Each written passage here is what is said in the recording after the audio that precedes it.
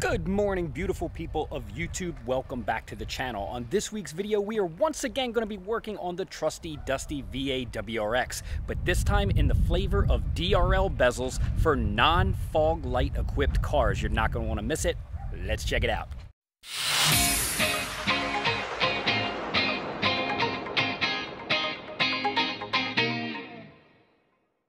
Like I had mentioned, today we are going to be replacing these bezels on the front bumper of my 2021 WRX. Now, I have been kind of putting this particular mod off for a little bit, and I'll tell you why. Number one, I really just kind of like the look of this particular bezel, I mean, since it is a non-fog light, I just kind of really like that subtlety look that the front of this car has. Of course, I say that kind of stuff, and you know, I got a hot pink X-Brace and a lit logo, but a little bit of contrast is good. But for the most part, I really like the fact that it's, you know, not a whole lot going on on the front of this car. The second reason is I've been waiting for these DRL bezels to come out for the non-fog light vehicles because I didn't want a hole here for not having fog lights and quite frankly like I said I like this look so I wasn't really ready to add fog lights to the car or at least at this moment. So I'm really excited that Noble has come out with a DRL for the facelift cars that does not have a provision for the fog light. On top of all that, the car is pretty dirty at the moment, which is the perfect time to start working on it and making sure I don't get any additional greasy fingerprints all over my freshly washed car. The first step is going to be getting this car up onto my race ramps and removing the front bumper. Once we get the bumper off the car and onto the bench, we're going to go ahead and open up the box and take a look at not only the bezels, but the included wiring harness. The one thing I do like uh, about this particular Noble kit is it comes with its own proprietary wiring harness. So we can wire these DRLs up in a whole bunch of different ways, which we will discuss once we get to that point. But for now, let's get the car turned around, into the garage, bumper off, let's go.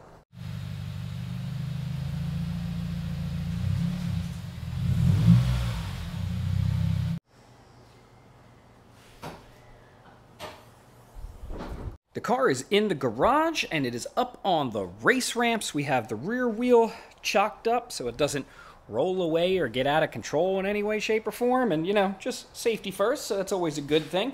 So to remove the bumper, that's not very hard. We've got some 10 millimeter hardware up on top here along with some plastic push clips. Then we can move over to the side on each wheel well where you'll see there's a plastic push pin there. There's also some of these style push clips all underneath the front lip here. And once we get that, we could just kind of pop out our wings on the bumper and pull it forward. Now, because I have my lit logo, uh, there's going to be a wiring harness back there, but luckily there's a quick disconnect, so we won't be hung up on anything like that. Now, if you guys are attempting to do something like this, but you happen to have fog lights or maybe some of the pre-facelift stuff that has the additional turn signal here, uh, removing the bumper is very similar, with the exception of when you go to pull everything off, you're going to have some additional wiring here that you're going to want to make sure you disconnect before you just go tearing the bumper off and pulling on that harness.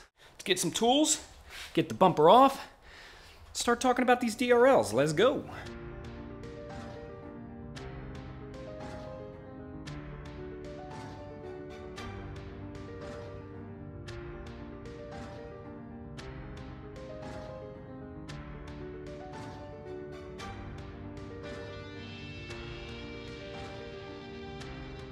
Bumper is off and on the bench. And before we get started, there is one thing I do want to touch on. Uh, one thing I'm really excited to see behind here, although I don't have any of the fog light stuff from the factory, it does look like the bumper itself is equipped to take the factory fog light. So it looks like all of the mounting points and stuff are here. It's missing like the actual hardware to like lock it down, but at least it's here. It's not like an additional accessory you have to buy if I wanted to upgrade to fog lights. Uh, same thing on this side. Um, all of the, the skeleton is here, which is really nice, although I'm not doing fog lights. If I wanted to upgrade in the future or try it out, I definitely could. At this point, we're gonna go ahead and remove our bezels. I don't believe these are locked in in any way, shape, or form except for those plastic tabs. So we can just kind of get behind it, push out to the front, and it should come off.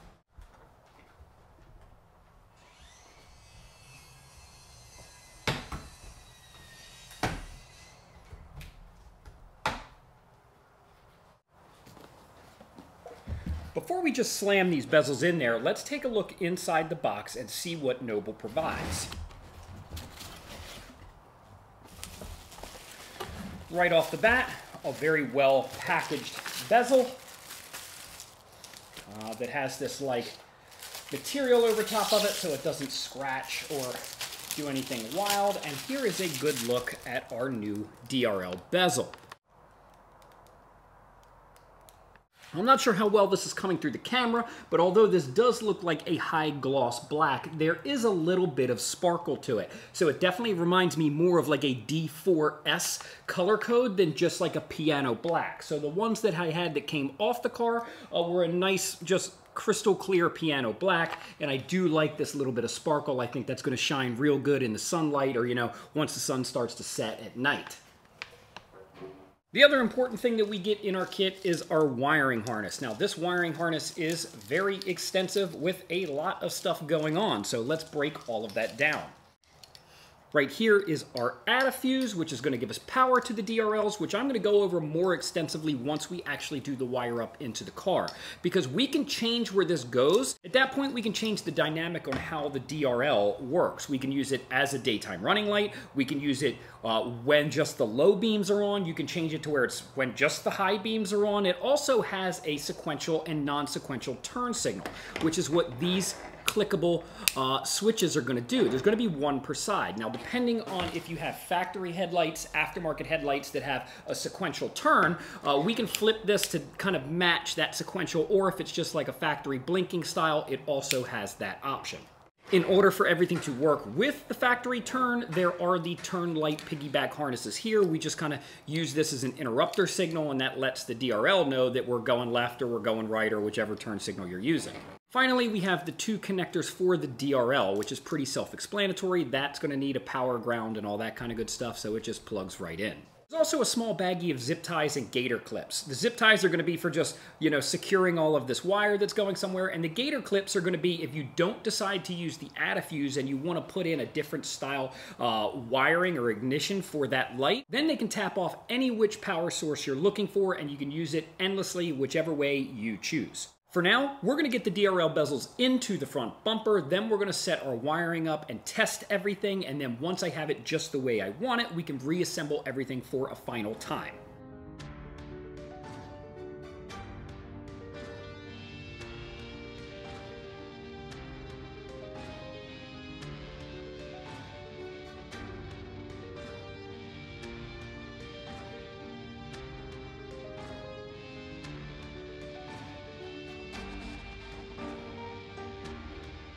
All right, gang, here they are on the car. Looks pretty good. I like it. Got the DRL there. Like I said, I'm not sure if you can see. Oh, I can kind of get close enough. You can see a little bit of that flake in there where it's not just like the gloss black or the piano black.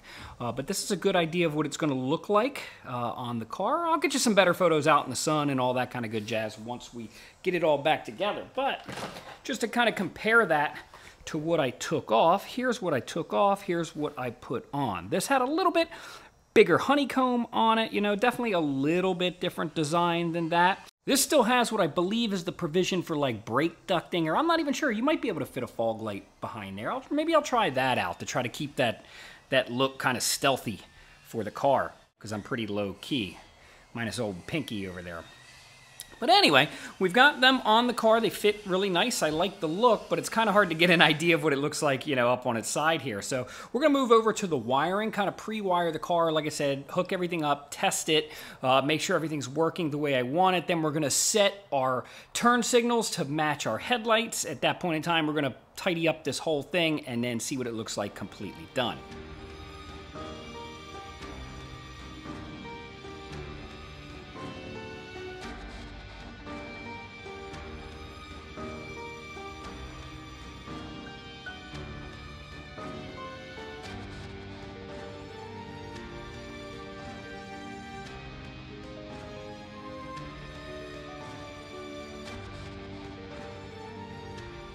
Well, boys and girls, I've run into my first problem.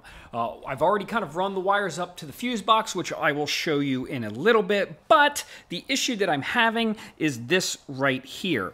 Uh, because my car did not have fog lights, I have a four pin connector that normally uh, would go into here with a fog light harness, and what that's gonna do is gonna break out into two separate wires. One is gonna go to the fog light, the other is gonna go to that additional turn signal that's in the bumper. Unfortunately, the harness that I have from Noble is meant to hook up after that fog light harness. So there's actually a harness from here to here that I'm missing. And, you know, unfortunately, I didn't pick it up until now, which is kind of a bummer. What I'm going to have to do at this point is actually just hook the DRLs up as a standard DRL. I'm not going to be able to use the turn signal function until I can get myself some fog light harnesses and kind of revisit our turn signal, which is kind of a bummer because I would like to, you know, show you all the uh, sequential and non-sequential turn signal stuff with our switch. But luckily we saw Damien's car and his install, and that went a little bit more to plan, although he was missing a fog light harness on that side.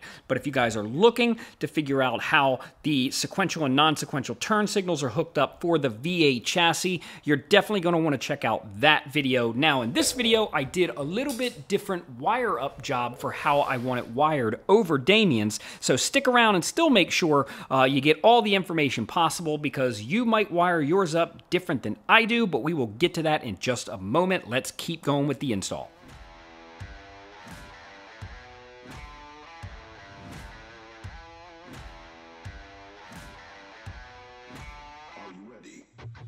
Here is a preliminary look at what our DRLs look like when everything is turned on. Now, I will show you what I did differently this time than I did with Damien's car. So this is just our standard DRL that I have hooked up with the headlights. So with no headlights, uh, it's just kind of, you know, all the regular daytime running stuff. They are not on. I actually have these hooked up. If we pop the headlights on, where you actually get the low beam bulb on, that is when the DRLs come on. Now you might be asking, why did I do this particular wire up?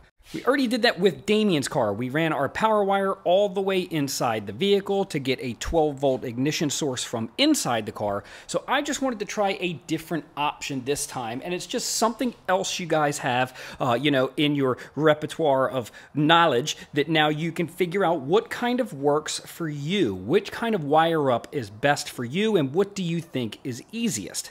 The biggest issue we have with wiring with these cars is our underhood fuse box. So there's not a whole lot of really good 12 volt ignition power sources under our fuse panel. We don't really start getting to those 12 volt ignitions until we pop this interior fuse panel off inside the car. So we're gonna come over and we're gonna pop our fuse panel cover off and show you what I've done. So here we go. We have two separate wires. This wire right here with the butt connector, that is for my uh, lit logo at the front. And then the other one, which is this one right here, is for our brand new DRLs. Now the reason I chose this fuse is because this is our standard 30 amp headlight fuse. So every time our headlights are on, this particular fuse is set. And that's why we have our projector low beam and our DRL on at the same time. Now, once again, as far as a wire up goes, if you choose to go this route like I did, keep in mind our ATA fuses are one direction. So I did have to pull the original fuse out, turn the headlights on, and find out which prong was the predominant lead. Because one of these leads is going to be directly hooked to the battery. The other lead is going to be pre-fused by the fuse that was in the other one. So you don't want to fuse and then backfeed through a fuse out. So if you plan to do the headlight low beam wire up like I have here, make sure that our power wire is coming out towards the engine, not towards our fender. And this will be our 12 volt source. Other than that, I love doing a halfway decent job with wiring. You're not going to see a whole bunch of, you know, just scattered red wires or anything around my engine bay, no siree bob. But if you come on down here, we did share a ground with the same ground from our lit logos. Now, of course, this car's starting to get an abundance of wire here from these aftermarket headlights and our lit logo and, you know, now our DRL. So we try to try to keep the wire management to, you know, uh, absolute maximum, but sometimes it's just getting a little bit out of hand. With that being said, everything seems to check out at least to this point. Like I said, the turn signals aren't quite there yet because I am in need of the jumper harness from the 4-pin to the 2-pin, which I will order up here real shortly, and we'll probably revisit this just to show you how everything goes and everything works. Because I really do like the fact that I can have a turn signal and I get my choice of blinker or sequential turn signals. In fact, I don't even know what turn signals on this car. Let's hit it. Ah, I see I have a blinker style, which is different than Damien's. If you watch that video, he had the sequential, and then we turned his DRL to sequential, so I will get the luxury of having the blink style, and it's just something different. So you get to watch each one of these videos. There's something different between that car and this car. Then you, the consumer, can decide which way do you want it. Now let's get this bumper back on the car. I'm probably to have to wash this turd when I'm all done, but once it's all shined up, we're going to take her out, put the DRLs on. Going to be a great day.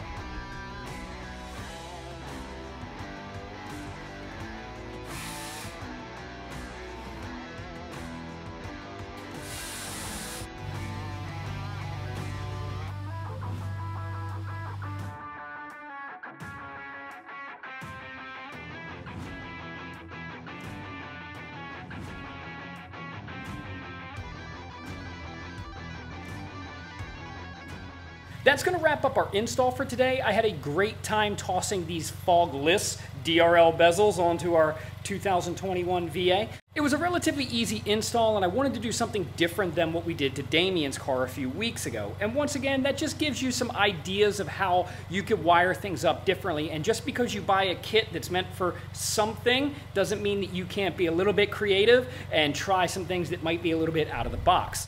With that being said, we're going to go ahead and wait for it to be nighttime. I'm going to catch some footage while the sun's going down to really kind of get these DRLs to pop and give you a better idea of what you're looking at if you're interested in a modification like this. Also, if you stick around to the very end of the video, I'll show you a little clip of how I, uh, you know, unfortunately killed the battery on this thing while I was filming and just leaving all the headlights on. So I got the whole fam to come out here and help me push the car. But, you know, it's okay because I love it when everybody pitches in. So for thousands of parts just like this, plus tons more, be sure to hit up Import Image Racing for all of the best deals on the web and in the world. And if you're interested in saving even more money than the already great prices on the website, check out the Build Bucks program. Go right to the website, put in Build Bucks into the search bar, and you can find out how you save 5% on almost every single purchase. So we will catch you guys on the next one.